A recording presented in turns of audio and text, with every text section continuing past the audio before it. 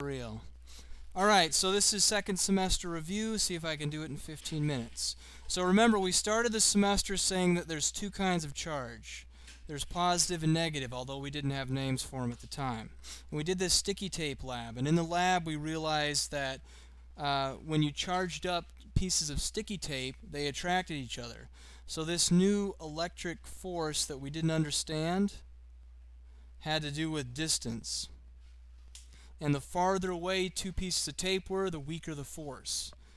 And so we knew it had to do with force. Well, we later saw that the actual equation, which is called Coulomb's law, which we didn't do any math with, but we at least wanted to see it, is that the force between two charges depends on charge 1 and charge 2 and the distance between them squared.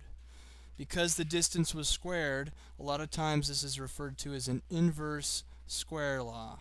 And there's lots of things in nature that obey inverse square laws besides Coulomb's law. Uh, we also learned that charge is measured in a unit called coulombs, which we didn't do a whole lot with either, but you'll see that from time to time. We learned a couple points like you don't create charge and you don't destroy it, but you simply transfer it around.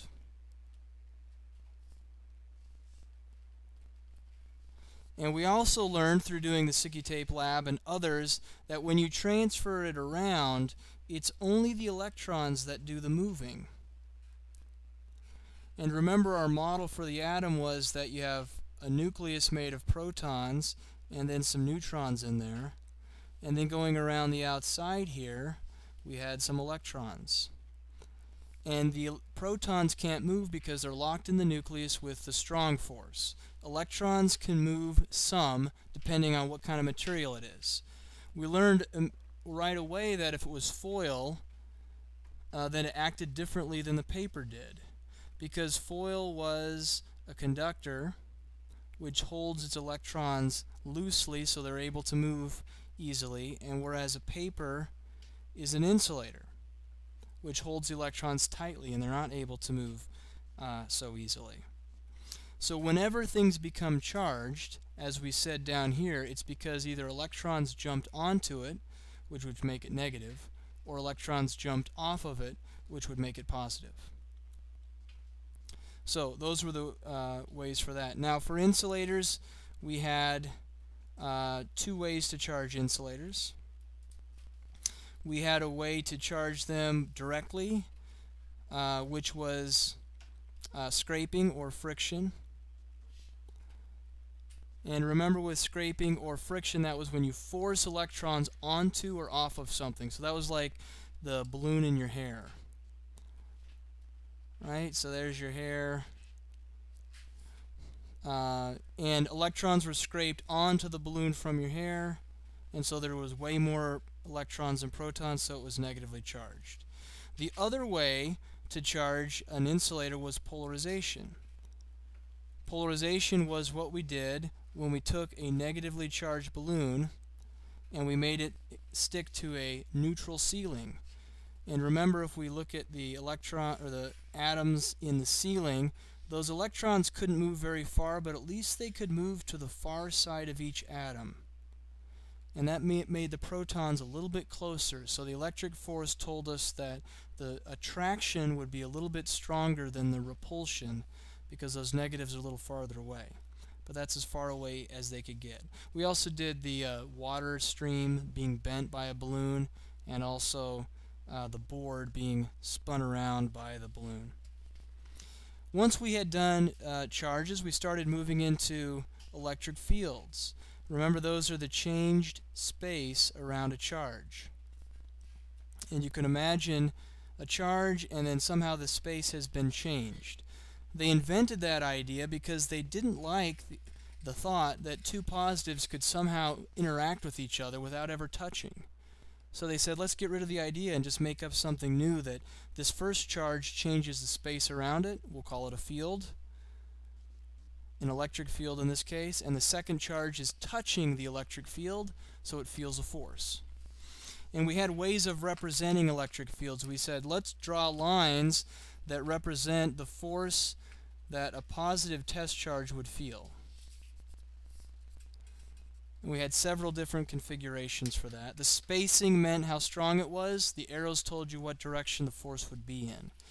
So if you had two charges, something like this, you would get field lines that kind of bend around like that. And then we had others that we learned how to draw as well. Um, why did we care about that? Well, mainly because electric fields store energy. We saw that with capacitors and the Leyden jar, that when you separated charges and put like positives on one side on a plate, negatives on the other, that it created a strong electric field that could store energy for a long time if you needed it to. So that brought up this idea of uh, total energy versus average energy and we said if we push a charge in um, a certain distance and it takes 10 joules of energy to do it, let's pretend it's 1 coulomb of charge. And I like the game so much I repeat it. And now there are two charges there for a total of 20 joules. Now there are three charges there for a total of 30, uh, 30 joules. So the total was the electric potential energy. And that would be measured in joules, in this case 30 joules. But even though I had three charges in there, I still had the same amount of average energy per charge as when I had one. So the average potential energy per charge was 30 joules total, but divided by 3 coulombs of charge was 10 joules per coulomb, which we made up a new unit for and we called it the volt. So typically this is called voltage because it's measured in volts. Another name for the uh, voltage is also electric potential. I tend to avoid that term just because it's confusing electric potential with electric potential energy. But the key idea is one's a total measured in joules, one is an average measured in volts. Why did we care about that? Well, we cared about that because charges want to move from high volts to low volts. Or another way to say that is charges would move from a high electric potential to a low electric potential. So it's a different way of thinking about it than electric fields. Electric fields dealt with force, um, and voltage deals with energy. Okay, a good example here, I'll go to a different page, um, was we, we did an example at one point about a spark from a sparkler and we said, why doesn't a sparkler burn you? Because a spark from it, that's like a thousand degrees Celsius. And that would be hot enough to burn. Well, the idea was it had a high average. That was its average kinetic energy. But it had a low total energy. There weren't very many molecules in that spark. So there was a low total energy, but a high energy. Just like when we had the Van de Graaff generator out, and you guys were able to touch it even though it had over 100,000 volts of energy per charge. A very high average energy, a high volts, but it didn't have very many charges. There were only a small number of electrons that actually transferred to your body. So it had a low total energy just like the spark from the sparkler. Okay, once we understood voltage uh, okay, we then started talking about resistance. And we said resistance is the idea that that there will be an opposition to charge movement, that not everything wants charges to go marching through it. And we said we could measure resistance in ohms. And the unit for an ohm is the Greek symbol omega, which looks kind of like a horseshoe. And we did several ranking tasks about, well, what actually affects the amount of resistance? And we said if you have a longer wire, you'll have more resistance.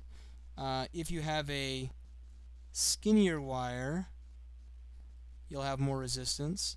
If it's made of a different material, you'll have more resistance.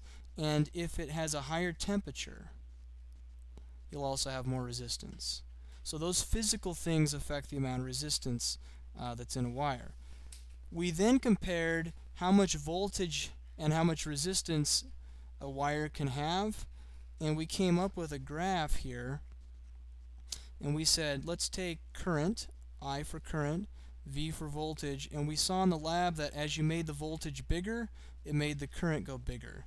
So current was directly proportional to voltage. We also saw that as you made the resistance bigger, the current got smaller. So current was inversely proportional to resistance. If I take those ideas and put them together, I can write an equation as long as the units work out. And the equation is I equals VR, which we call Ohm's law. It doesn't work for everything, but it is a good approximation for most things that we do. So once again, this was current, this was voltage, and this was resistance. We've talked about units for all of them except for current, so the unit for current was the ampere, which we usually call amps, and capital A uh, was what we did for that. Okay, we then got into saying, uh, well, there's two different ways for current to move. The charges can keep moving in the same direction slowly, and we'll call that direct current, or DC. Or a charge could just keep changing direction the whole time, and that would be alternating current, which we call AC. So AC is what we use in outlets and buildings and houses. DC is what you get in batteries. We also had power, few formula for power, which was the current times the voltage. We used that when we uh, figured out um, how much it costs to run different appliances. We then looked at series versus parallel, and the, the idea of series was you have one pathway, and the idea of parallel is you had more than one pathway, multiple pathways. In series, you have the same current through everything. In parallel, you had possibly different currents, but they add to total. So each current added up through each branch adds to the total. In series, they share the voltage, so they could have different voltages, but they add to the total voltage from the battery.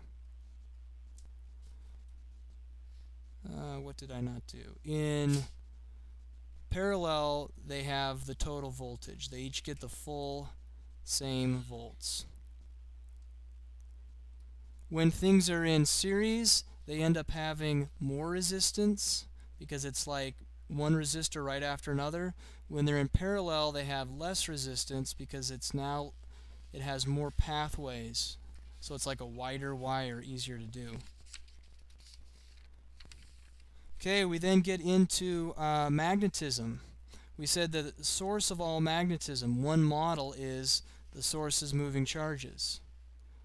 And if you think of an electron spinning around its axis, that makes up a moving charge. So you can think of that being a little micromagnet with a north and south pole. And if all of these spinning electrons are in the same direction, we could say that's a domain. And that domain has a direction it points. And if all the domains line up, then it's magnetic. Uh, we said there's three categories of things. It could be a magnet, it could be magnetic, or a better term for that was ferromagnetic, meaning it has iron in it. So it can stick to a magnet, or it is a magnet, or a magnet doesn't affect it at all. So the model was you can't, these uh, micromagnets all cancel out, or they can't be aligned. These do not cancel out and they can be aligned, and same for a magnet. We looked at the jumping wire effect, which is how you create an electric uh, or an electromagnet. You take a wire, hook it up to a battery, and um, it becomes an electromagnet. Stick a chunk of iron in there, it becomes stronger. Stick another magnet or a loop of wire next to it. No, sorry, stick a real magnet next to it, and this will jump because it'll be attracted or repelled. So that can make speakers, motors, and meters. We then talked about Faraday's law. Is that my time? I'm close.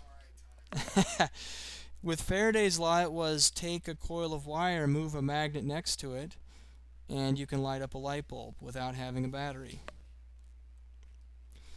We talked about how transformers, uh, well this is the idea of a generator I should say, move a coil of wire next to a magnet. A transformer steps up or steps down the voltage and you have to use alternating current to do that and the trade-off is it steps up or down the current in the opposite direction. We learned electromagnetic waves are regions of electric and magnetic fields that are changing with the magnetic coming out of the page and into the page, the electric going up and down. Can't possibly draw that fast enough. And so that's pretty much uh, it. If I take one minute and talk about the sound and light stuff, we have frequency of a sound wave which corresponds to the pitch. Frequency of a light wave corresponds to the color. They both can use this formula, frequency times wavelength is the velocity. They both can use the idea that frequency is 1 over the period. Frequency is how often uh, waves are coming in per second, measured in hertz, cycles per second. Period is the amount of time it takes for one cycle. It's going to be measured in seconds. Doppler effect was that apparent shift when something is moving so the frequency is higher on this side and lower on this side so that'll be a change in pitch if it's a noise. That'll be a change in color if it's light. Today we talked about the spectrum radio waves microwaves uh, visible infrared ultraviolet x-ray gamma ray how we can only see this narrow band we talked about how when a wave bounces off something, we call it reflection, and when it bends as it goes into something, we call it refraction. And there you go. That was 17 minutes. I didn't make it.